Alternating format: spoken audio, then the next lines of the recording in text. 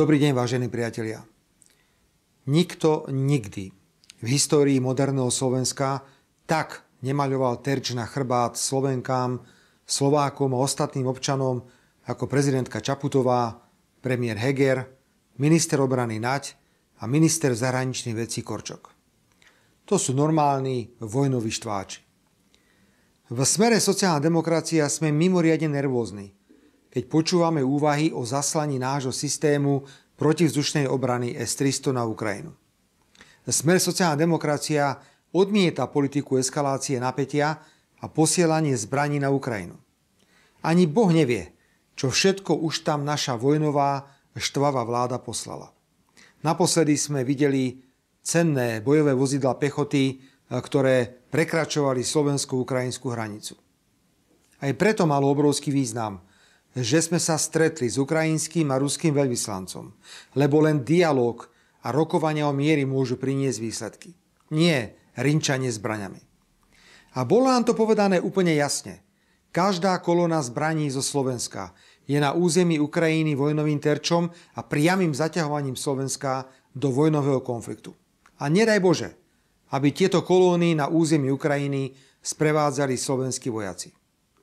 Už teraz naši vojnoví štváči v prezidentskom paláci a vo vláde prekročili všetky akceptovateľné hranice angažovania sa Slovenska vo vojne na Ukrajine. A do toho prichádza návrh, za ktorého sme nervózni ešte viac. Poľsko chce prísť na summit NATO s návrhom na ozbrojenú vojenskú mierovú misiu NATO na Ukrajine. Vieme si predstaviť, a ako táto poľská iniciatíva lahodí prezidentke Čaputovej a vláde.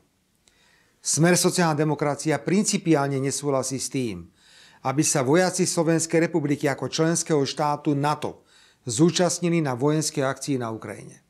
NATO na Ukrajine nemá čo robiť. Slovensko musí tento poľský návrh principiálne odmietnúť, lebo Slovensko by sa stalo oficiálnou súčasťou vojny na Ukrajine so všetkými dôsledkami. Ešte raz, Slovensko nemá s vojnou na Ukrajine nič spoločné. Nikto nás nehrozuje, nikto nám nechce zobrať územia, ako to bolo v roku 1938. Pani Čaputová, pán Heger, prestaňte slúžiť cudzím záujmom. Už ste predmetom vtipov, že aký je rozdiel medzi ruskými a americkými agentmi.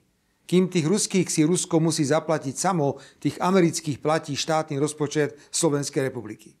Musíte, pani prezidentka, pán predseda vlády, na ukludnenie situácie na Slovensku ešte dnes, nie zajtra, ešte dnes, rázne odmietnúť polský návrh, poslať na Ukrajinu vojska NATO a zatiahnuť Slovensko do vojny. Ak tak neurobíte, len prehlbíte všetky pochybnosti o vašej lojalite k Slovensku.